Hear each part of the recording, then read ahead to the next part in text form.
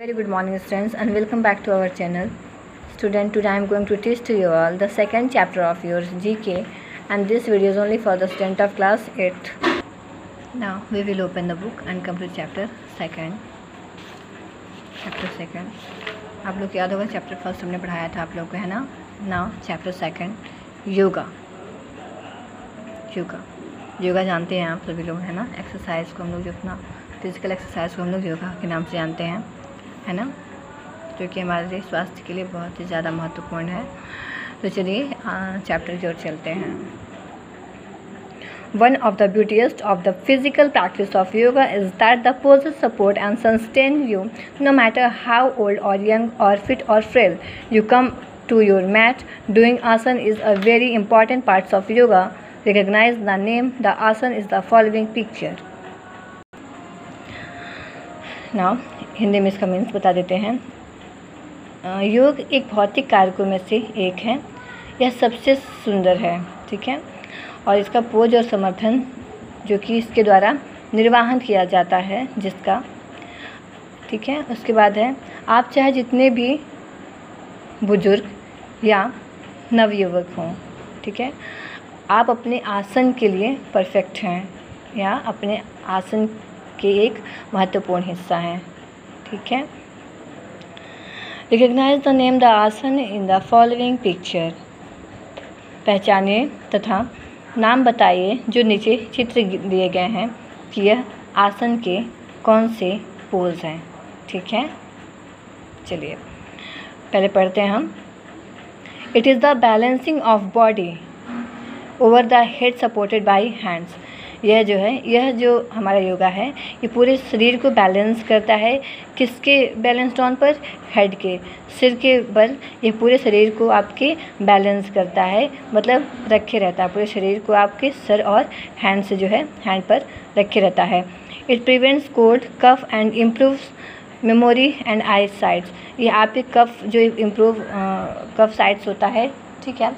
तो वो ठीक करता है और आपकी आई साइड्स को आँख की जो रोशनी होती है, उसे क्या मज़बूत करता है, ठीक है, या उसे बढ़ाता है।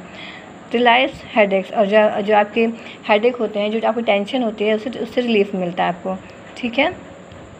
ये कौन सा पोज है? इस पोज का नाम क्या है? तो देखिए पहले हम यहाँ पे क्लू बॉक्स में देख लेंगे क्या क्या है। शव आसन है, शीर्ष आसन है, ये शीर्ष है। S H I R S H शीर्ष आसन होता है, ठीक है? विपरीत करनी आसन, हाल आसन। तो ये हमारा पूरे सर के बल और हैंड के बल हम लोग पूरे शरीर को अपने जो है बैलेंस करते हैं ना? तो हमारा शीर्ष आसन हो गया। कौन सा है? शीर्ष आसन। शीर्ष आसन। ठीक है? शीर्ष आसन, number first number second from laying position legs are rest up to the top most position from laying position आप लेटे हुए पोजिशन में लेग्स आर रेस्ट अपने पैरों को उठाइए up to the top most position जितना ऊपर आप उठा सकते हैं। हैंड सपोर्ट्स हिप्स और अपने हाथ, हाथों से अपने हिप्स को सपोर्ट करिए। वेट रेस्ट ओवर शोल्डर और वेट अपने शोल्डर पर रखिए। ठीक है? It cause cough and cold headache and improve memory eye side delay again ठीक है? ये आपके कफ को जो है कम करता है, जो आपके कफ होते हैं वो बाहर निकालता है उसको और हेडेक आपकी जो दिमाग का जो टेंशन है वो कम करता है। इम्प्रूव मेमोरी आपके दिमाग को तेज करता है and eye side eye side को आल्सो भी, ठीक है? मतलब आपकी आँखों की जो रोशनी होती है उसको भी जो है आपको बढ़ाता है, ठीक है? तो ये हमारा कौन सा पोजिशन ये हमारा सेकेंड कौन सा है? सेकेंड हमारा है सेकंड हमारा है विपरीत करनी आसन ठीक है? विपरीत करनी आसन आई पी विपरीत करनी आसन ठीक है? Number third from laying position लेटे हुए पोजिशन में लेट लेटे हुए स्थिति में स्टार्ट रेजिंग द लैग अपने पैरों को स्टार्ट करिए उठाना।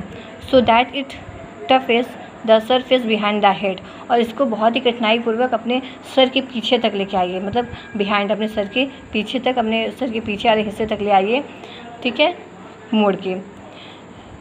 It cures back pain and improve eye sight ये जब आपका जो बैक पे आता है, आपका पैर जो है हेड के बैक में आता है, ठीक है?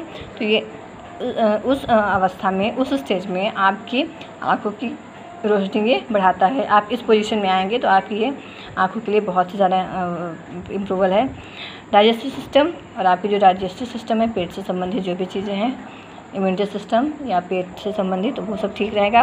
बैक एंड शोल्डर मसल्स और आपकी बैक और शोल्डर्स जो मसल होंगी, वो भी जो होंगी, वो क्या करेंगे? वो जो है सही रहेंगे। तो ये क्या है? शव आसना, ठीक है? इसको बोलते हैं शव आसन। ठीक? नंबर फोर नंबर फोर देखते हैं। It is a resting and relaxing pose यह सबसे ज़्यादा रेस्टिंग मीन्स एक, क्या कहते हैं रेस्ट आरामदायक और रिलैक्सिंग और आरामपूर्वक पोज है। इन अ लेइंग पोजीशन लेटे हुए पोजिशन में कंट्रोल ओवर ब्रीथ अपने सांसों को कंट्रोल करिए, अपने सांस को कंट्रोल करिए मीन्स रोकिए। विदाउट एनी मोशन बिना किसी स्क्रैच किए अपने फेस पे बिना किसी इमोशंस की, इसको जो है आप रोक के रखिए, ठीक है?